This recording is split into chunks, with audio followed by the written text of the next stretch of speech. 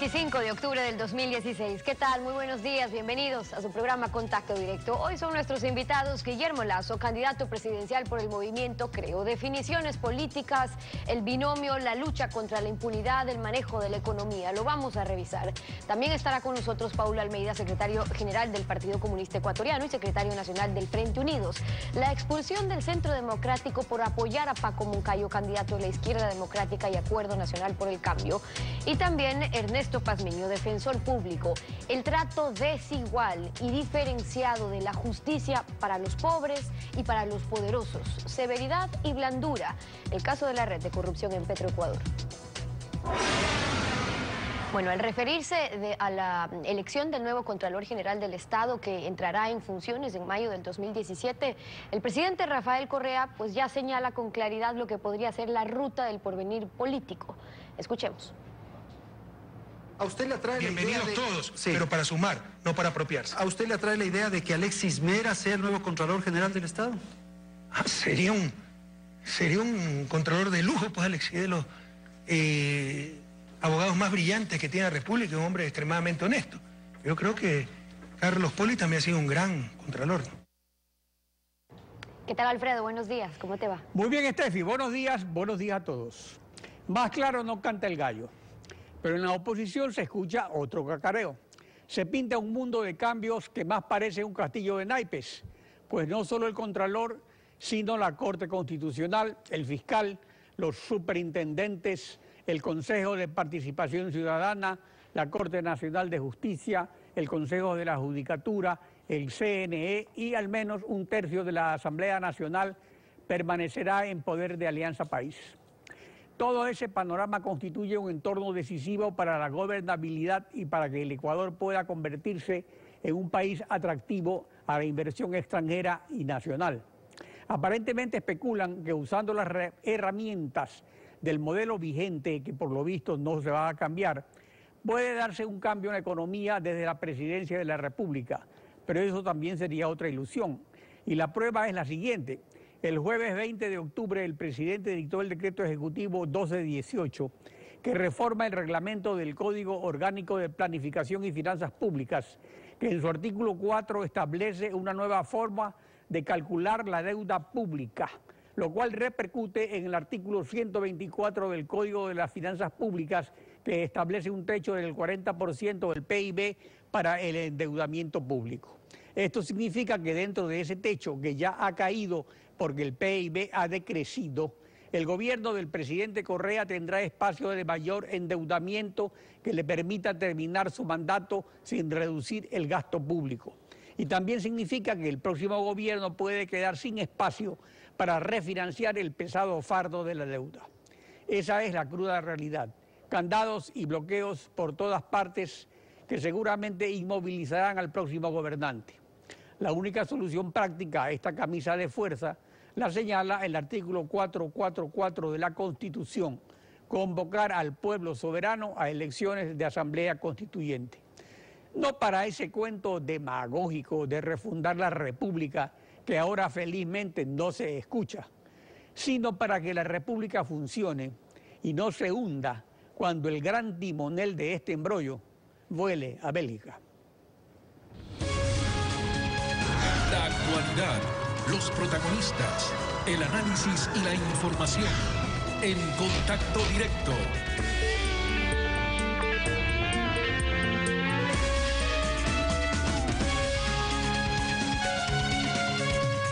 Estamos en un mes de definiciones políticas con miras a elecciones presidenciales y de asambleístas. Al respecto, el asambleísta Andrés Páez anunció ayer lo siguiente. Veamos. Una fiscalización que implique también desmontar esa caricatura de justicia que tiene el Ecuador, para que hayan jueces independientes que juzgue al correísmo y que también juzgue a quienes pasen a ocupar funciones públicas. Un hombre que está comprometido con las propuestas de fiscalización, un hombre que ha regresado a ver a los que estuvimos luchando en las calles y que no buscan acuerdos con los viejos correístas, con los arrepentidos del correísmo. Y por eso hoy anuncio oficialmente que quien les habla, quienes integramos lucha en las calles y, una, y un sinnúmero de colectivos que están en 24 provincias del país y tres distritos electorales del exterior. Vamos a apoyar la candidatura presidencial de Guillermo Lazo. Guillermo Lazo, candidato a presidente por Creo. Buenos días, bienvenido a Contacto Directo. Muy buenos días, Alfredo. Gracias por su invitación y quedo a sus órdenes. Guillermo Lazo, Andrés Páez, ¿ese sería el binomio?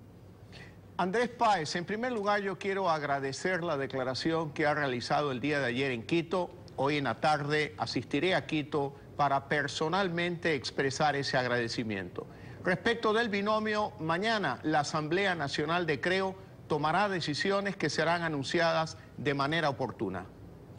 Andrés Páez como asambleísta le ha dado prioridad a la fiscalización y el control político en una época en que el Ejecutivo ha absorbido las tareas de denunciar, investigar y acusar, mientras la oposición hace mutis y la impunidad adquiere nuevas dimensiones que ahuyentan la inversión y encarecen la competitividad. Es tan evidente la corrupción que el propio gobierno ha denunciado una red en Petroecuador. ¿Cómo va a enfrentar este problema que corroe a la administración pública y a la sociedad? Necesitamos fortalecer las instituciones ecuatorianas. Cuando me refiero a instituciones, eh, la facultad que tiene la Asamblea Nacional de fiscalizar, que parece que no ha existido durante los 10 años del correísmo. Necesitamos el fortalecimiento de la justicia, una justicia independiente. Para aquello tenemos previsto acudir a la ONU para con su apoyo y respaldo llevar a cabo una reforma técnica de la función judicial. Yo no creo en los extremismos de pensar que todos los jueces son corruptos. Eso es algo absolutamente injusto, pero deberíamos hacer un llevar a cabo un proceso técnico para escoger lo bueno, separar lo malo y dejar claro que en el Ecuador opera la justicia alejado de, los, eh, de las influencias políticas o de aquellas influencias de poder que en el pasado de alguna manera contaminaron la justicia. En su editorial, Alfredo, usted ha planteado grandes desafíos para el futuro gobierno. Desafíos en el campo económico. Necesitamos convocar inversión local, internacional, y para aquello es necesario generar confianza y credibilidad. Desafíos en el campo político. Requerimos reformas constitucionales que son fundamentales. Usted en su editorial propone un camino. Nosotros, sin descartar el que usted propone, planteamos otro camino que consideramos mucho más expedito. Y en lo social planteamos la mejor política social de todas. Crear trabajo, trabajo para que el padre y la madre de familia puedan sostener a sus hijos, puedan velar por el futuro de sus hijos, de sus nietos, de toda la familia ecuatoriana. Respecto a la cuestión de la impunidad, una comisión anti-impunidad de Naciones Unidas como la que existe en Guatemala funciona porque hay independencia de las funciones del Estado.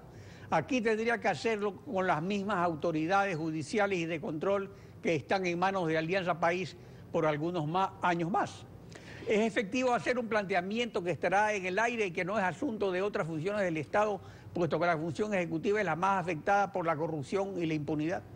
No somos ingenuos, Alfredo. Lo que usted ha planteado es un asunto sustantivo en la política ecuatoriana. ¿Cuál es nuestro planteamiento? Llamar una consulta popular. Si usted me permite, solo leeré un párrafo del artículo 104 de la Constitución que dice, la presidenta o presidente de la República dispondrá al Consejo Nacional Electoral que convoque a consulta popular sobre los asuntos que estime conveniente. Y este es nuestro planteamiento. Llamar a consulta popular en la primera semana de gobierno. ¿Para qué asuntos que son de conveniencia para el interés de los ecuatorianos?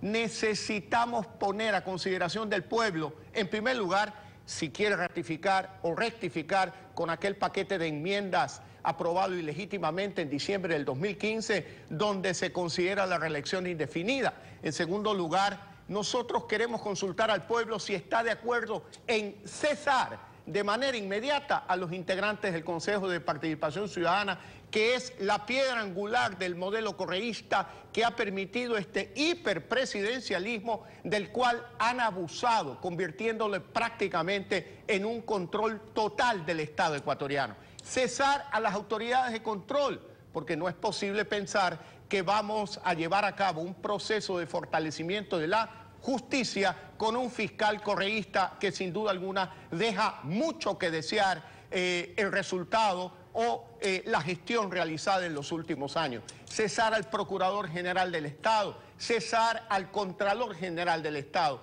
a los miembros del Consejo de la Judicatura, con quienes no vamos a poder llevar a cabo un proceso de reforma del Poder Judicial con esos integrantes del correísmo. Necesitamos cesar al superintendente de comunicación, al superintendente de control de poder del mercado y crear un régimen de transición para que sea la Asamblea Nacional sobre eternas propuestas por notables de la sociedad ecuatoriana quienes determinen cuáles son esas autoridades que van a reemplazar a las actuales. Pero usted plantea una consulta popular irreal para suprimir el Consejo de Participación Ciudadana, para cesar a todos estos funcionarios.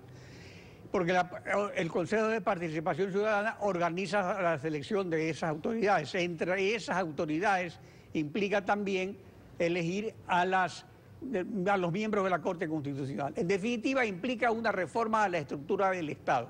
Por tanto, la Corte Constitucional la bloqueará porque para que esa reforma pase se necesita una constituyente, porque es una reforma a la estructura del Estado. ¿Por qué es que se reúne por parte suya y de todos los candidatos de oposición, claro, por los cuales usted no puede hablar, a la constituyente? Porque la constituyente, la consulta para la constituyente es para convocarla directamente no para preguntarle al pueblo si quiere constituyente, sino para convocarla directamente y que en 15 días, según el artículo 197 del Código de Democracia, el Consejo Electoral debe hacer la convocatoria. En varias ocasiones, Alfredo, en este mismo espacio, yo le he dicho a usted que nosotros no descartamos la aplicación del 444. Y una campaña política es precisamente para eso, para debatir propuestas. La nuestra es una consulta popular basada en el artículo 104 de la Constitución. Amplios sectores de la sociedad ecuatoriana plantean lo que usted plantea, una asamblea constituyente, que es en alguna medida un borra y va de nuevo, una nueva refundación del Ecuador. Y a nosotros nos preocupa No es una refundación, no es si, una cosa. Si usted me permite, ¿por qué nos preocupa a nosotros el 444? El gran problema del Ecuador es un problema económico en este momento. Pérdida de empleo encarecido, eh, la, vida se encarece, no hay inversión local ni internacional. ¿Qué nos preocupa? El tiempo. Son tres procesos electorales eh, bajo el paraguas del 444. En primer lugar, la consulta popular para que el pueblo decida llamar a una asamblea constituyente. Luego, la elección no, no, de los miembros... Su asesor se ha equivocado. La consulta popular es para convocar a elecciones de constituyentes. Esa es la diferencia, no se pregunta nada. Bien, Alfredo, respeto su opinión, respeto su opinión, pero igual usted tiene un proceso que va a generar incertidumbre en el Ecuador. ¿Qué es lo que debemos de dar nosotros a los inversionistas locales, internacionales, a todos los ecuatorianos? ¿Y usted cree que cesando a todos los funcionarios del Estado no crea incertidumbre? Bueno, no, porque lo podemos hacer de una manera expedita en un plazo máximo de 180 días. Eh, la aplicación del 444... ¿Y si la Corte le bloquea la consulta?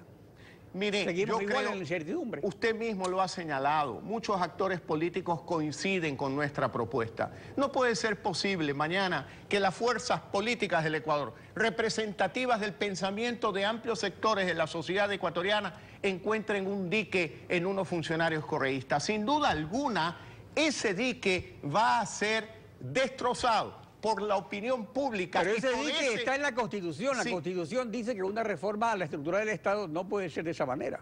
Sí, pero no le quedará más a la Corte Constitucional que calificar las preguntas de la consulta popular que nosotros planteamos. Y por eso yo le digo a los ciudadanos, el poder lo tienen ustedes. Son ustedes los que tienen la voluntad del cambio. El día 19 de febrero, lo que se requiere para lograr gobernabilidad en el Ecuador es que los ciudadanos voten por quienes tenemos chance de ganarle al correísmo, por un amplio margen, con ese poder político que deviene de los ciudadanos, de la voluntad popular, lograremos vencer pocas voluntades de un consejo o de una corte constitucional integrada. Pero el presidente, Correa, el presidente Correa plantea otra consulta popular ahora mismo, simultánea a las elecciones, supuestamente para luchar contra la corrupción inhabilitar para ejercer cargos públicos a quienes tengan a cualquier título, bien habido o mal habido, activos en el exterior en paraísos fiscales.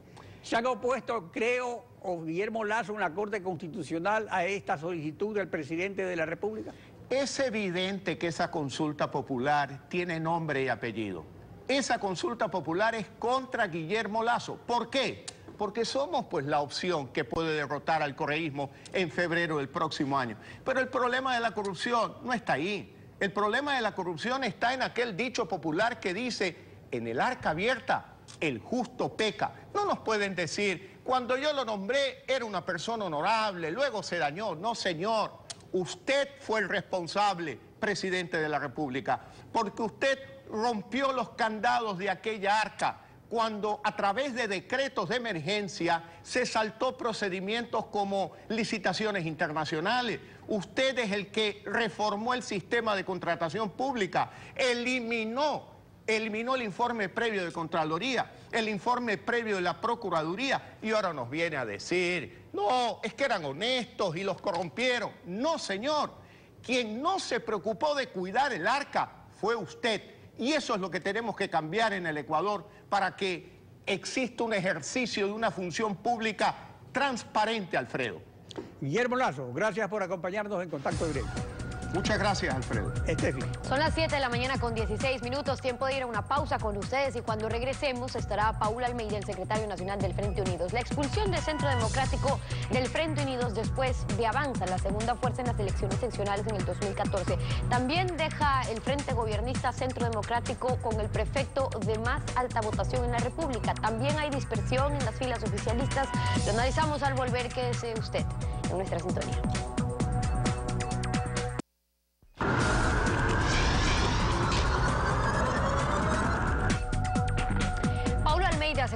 Del Partido Comunista Ecuatoriano y secretario nacional del Frente Unidos. Bienvenido a Contacto Directo. Hola Stephanie, buenos días. Buenos días. Ante la mm, alianza entre Centro Democrático y la Izquierda Democrática, el Frente Unido resolvió por unanimidad la expulsión de la organización eh, Centro Democrático de las filas del Frente Unidos. Pero ¿fue Centro Democrático quien decidió irse por otro camino? ¿Oportunismo o es la respuesta de quienes han sentido ese sectarismo de Alianza País y sus afines? Bueno, el Frente Unido se consolida al inicio como una expresión política que decide respaldar la revolución ciudadana y por ende todo este proceso que se ha venido eh, generando con el gobierno. Permítame leerle lo que dice la resolución del acta constitutiva del Frente Unidos. Dice, consolidar la unidad popular ciudadana instaurando el Frente Unidos como una alianza estratégica de las fuerzas populares de la izquierda, centroizquierda y progresistas comprometidas con el proceso transformador eh, impulsado por el gobierno de la revolución ciudadana. Además, Jimmy Jairala, el momento que hace su intervención en la inauguración de este Frente Unidos, dice lo siguiente en su discurso. Dice, no queremos repetir la vieja política de los pactos bajo la mesa, ni queremos participar de egoístas repartijas de poder. Es un concurso de resistencia en donde los, en, donde los que queremos y creemos en nuestro país tenemos que fajarnos. Refiriéndose a la revolución ciudadana, él dice, como ecuatoriano me siento orgulloso. Y luego dice, estamos comprometidos con el presidente Correa y con sus propuestas. Lo que pasó con Centro Democrático, ellos salen, digamos, de esta expresión de unidad política por una alianza electorera. Ellos buscaban ciertos espacios de representación político-electoral que son sin duda eh, necesarios. Todos, digamos, hemos hecho propuestas alrededor de aquello, pero ellos se van porque sintieron que no se les dio todo lo que querían. Ahora, pero el tema del sectarismo es importante analizarlo dentro de lo que ha ocurrido en Alianza País, en sus afines, y es otra posibilidad. Por eso, lo, reconoció el mismo presidente después de las elecciones seccionales, en ese entonces, eh, cuando todavía había alianzas con Centro Democrático. Recordemos algo de eso se cae en el sectarismo. Alianza País se está volviendo sectarista y no lo voy a permitir. Miren lo bien que nos fue en Guayas, ¿ah? Pero en Guayas hicimos la alianza con Centro Democrático, Jimmy Geral, un querido amigo, y felicitaciones por su reelección, no, para prefectura, y me parece que para 12 de los 23 cantones de Guayas. Y para el resto de 11 cantones no hicimos alianza. ¿Y por qué? No es que ahí podemos ganar solitos. Pues si podemos ganar solitos, mejor si podemos ganar acompañados. Esa debe ser la mentalidad. Entonces, por favor, que se acabe el sectarismo. Mientras más gente podemos captar, por eso decía, la, revolución se fundamenta en lo local. Mientras más gente podemos captar, más grupos, más apoyo, mejor. No, nosotros solitos. Todo debe ser Alianza País. Nosotros solitos podemos ganar. Y el candidato debe ser un militante. Ese sectarismo nos está matando. Digo, para analizar también la ruptura de las alianzas de AP y sus afines, ¿no se pudo superar ese sectarismo? ¿No lo sienten así otras organizaciones que integran el Frente Unidos? No, todo lo contrario. Eh, dentro del Frente Unidos hemos construido propuestas, venimos discutiendo un programa de gobierno hacia el 2017-2021. Eh, la próxima semana o la primera semana de noviembre vamos a mantener una reunión con el binomio Lenin Moreno-Jorge Glass para hacerles justamente nuestros planteamientos.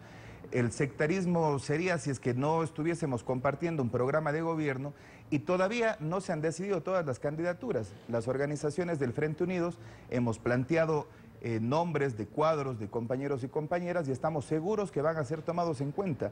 Por ejemplo, en el caso del Partido Comunista Ecuatoriano hemos planteado la reelección del compañero asambleísta Diego Vintimilla. El caso del Centro Democrático es diferente.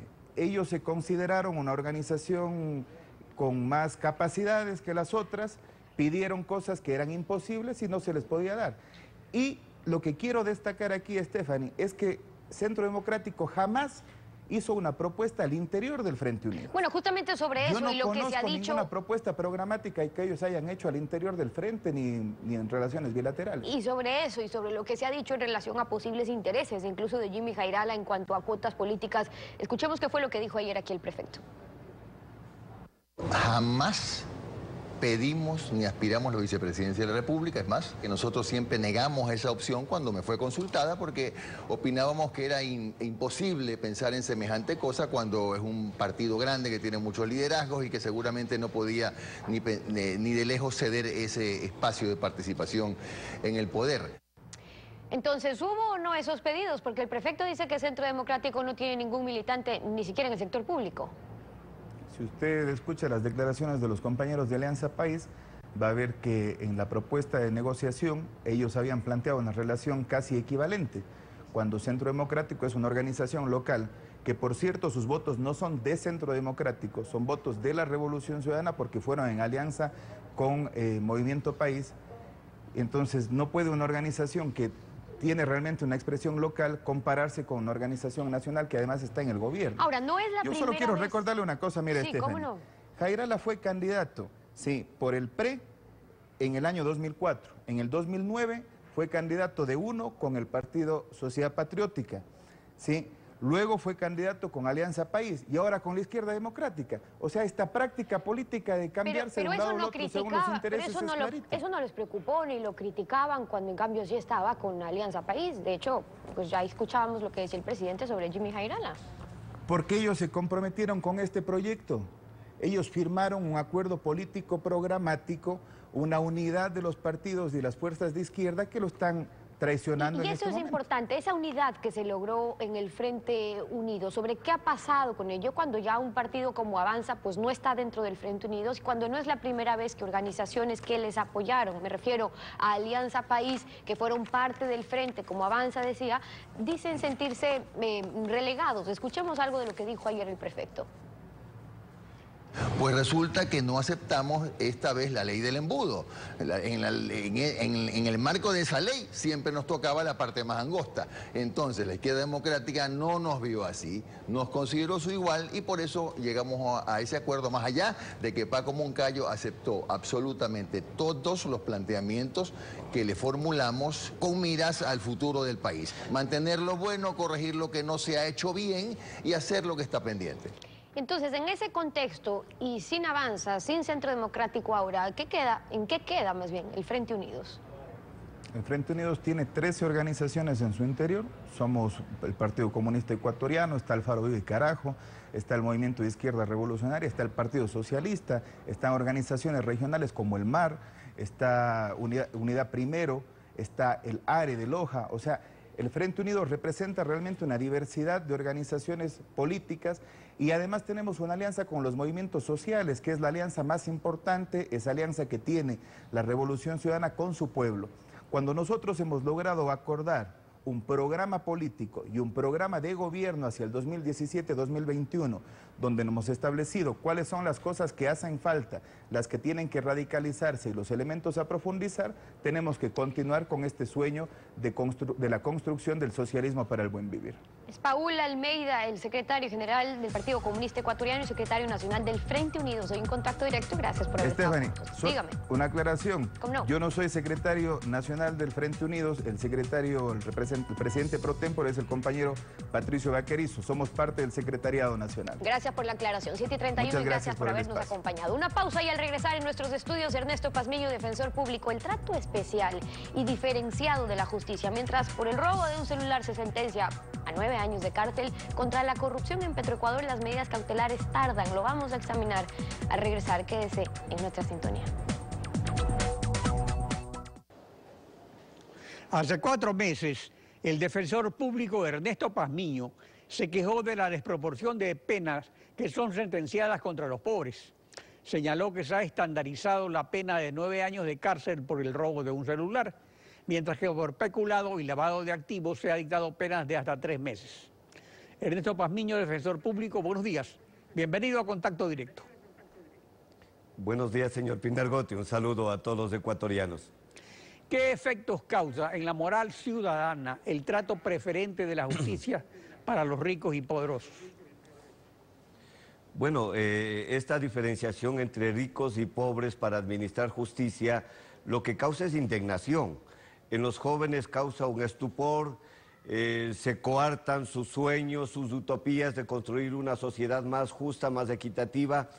Y lamentablemente, lo digo con todas las palabras, en el Ecuador la justicia es selectiva. Y es selectiva porque el poder punitivo del Estado se dirige en base y en razón de la vulnerabilidad de las personas. Y la vulnerabilidad de las personas se expresa en base a su lejanía del poder. Mientras más lejano es del poder, esta persona tiene más posibilidades de ser vulnerable. Mientras más cercano es al poder, eh, la vulnerabilidad no se expresa. Y el poder en el Ecuador y en todo el mundo, el poder es impunidad. Impunidad, porque en las cárceles no hay rostros de riqueza, en las cárceles no hay ricos, en las cárceles están solo gente pobre. Y esta vulnerabilidad y esta selectividad en el Ecuador se da también por estereotipos. ¿Cuál es el estereotipo fundamental en nuestro Ecuador para la aplicación de la justicia, del poder punitivo?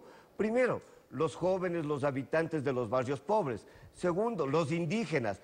Tercero, los pensadores, los que escriben en Twitter, en los periódicos, o los opositores al régimen. Estos son los estereotipos que persigue la justicia. Y en los casos de los pobres, las penas son muy fuertes. El Estado está de frente, eh, listo para poner penas graves cuando se trata de delitos de pobreza, de delitos pequeños, de hurtos, de pequeños robos. Pero está de espaldas cuando se trata de personas con gran poder. Estamos el propio gobierno denunció la red de corrupción en Petroecuador en torno al proyecto de repotenciación de la refinería por un monto global de 2.200 millones de dólares, probablemente la más grande red en la historia nacional. La semana pasada el asambleísta Mauro Andino, coincidiendo tal vez con usted, que se refiere a la protección que gozan los que están cerca del poder, señaló lo siguiente, veamos. Hubo retardo que no hubo una agilidad, obviamente, porque ¿cómo es posible, Alfredo, que se anuncie con 20 días antes de que se va a, formular cargos o se va a vincular a alguien, diciéndole, vea, señor, señorita, ¿sabe qué? De aquí a 20 días vamos a llevar a cabo una audiencia y allí le vamos a vincular. Esté preparada, esto es risible. Recién el viernes se dictaron las medidas cautelares contra la red de corrupción borra esto la tardanza de más de un mes, casi un mes o 21 días. Esa es la, muestra fehaciente y clara de la justicia selectiva en el Ecuador. Lo que ha pasado en los últimos ocho días ecuatorianos, señor Pinargote, nos demuestra lo que yo estoy diciendo. Solo me voy a referir a cuatro casos de los últimos ocho días. El primero, se vinculó a 16, 17 personas que se fugaron del país con todo el dinero que nos robaron a los ecuatorianos. En segundo lugar, acabo de escuchar ayer, anteayer al señor procurador decir que tiene cientos de informes de auditoría con indicios de responsabilidad penal. ¿Qué se espera? ¿Qué está esperando la justicia para iniciar los procesos contra esas personas? Y ayer el, Contralor nuevamente dice, tengo 200 informes de eh, auditorías con indicios de responsabilidad penal por inconsistencias en las declaraciones juramentadas. ¿Qué esperamos? Sin duda son gente que está cerca al poder, que no se hace nada. En tercer lugar, la semana anterior, la Corte de Loja ratifica la pena de cuatro años contra los indígenas zaraguros dejen abierto la posibilidad de que vaya a bajar la pena aplicando el artículo, el, convenio 279 de la OIT.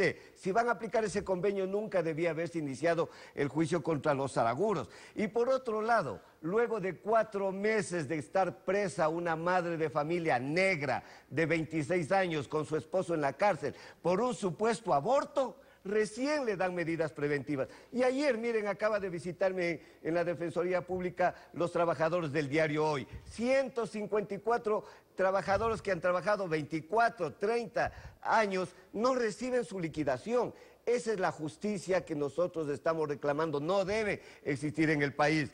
La justicia de doble velocidad. Según el artículo 191 de la Constitución, es un órgano autónomo de la función judicial, igual que la Fiscalía General, su tarea es defender a las personas que por su condición económica, social y cultural no pueden contratar los servicios de defensa legal. En definitiva, que no se aplique la justicia solo para los de Poncho, como antes se decía, porque ya ni, siquiera de eso se repite.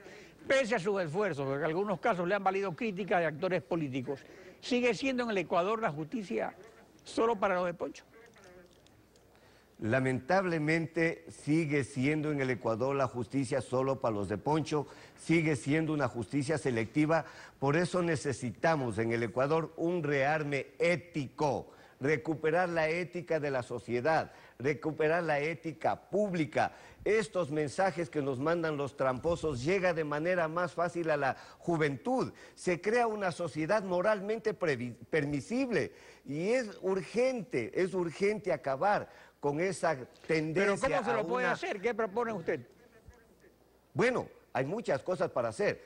Ese rearme ético implica, yo tengo cinco propuestas fundamentales.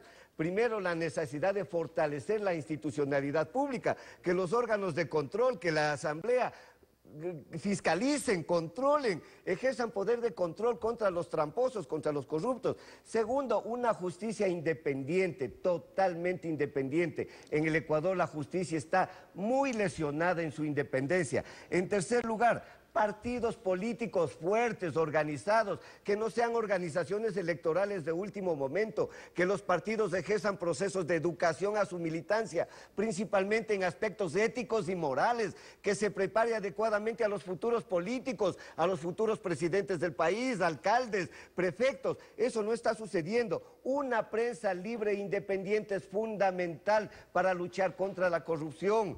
Y finalmente, una justa distribución de la riqueza y una participación ciudadana activa. Es necesario entregar a la ciudadanía esta potestad de investigar los casos de corrupción, que sea la ciudadanía organizada mediante las comisiones de control cívico de la corrupción, los que los que lleven adelante esta lucha contra la corrupción. A mí me preocupa esa juventud que por primera vez va a votar en las elecciones del 2017 o esos jóvenes que están entre 20, 24 años. Ellos están matando sus utopías con la corrupción campante en el Ecuador. Ernesto Pamiño, gracias por su participación en Contacto Directo. Este Muchas gracias a usted. Así concluimos esta emisión. Y a ustedes también. Gracias por su confianza y sintonía. Nos volvemos a encontrar mañana, Alfredo. Mañana continuamos rayando la desinformación en contacto directo. buen día.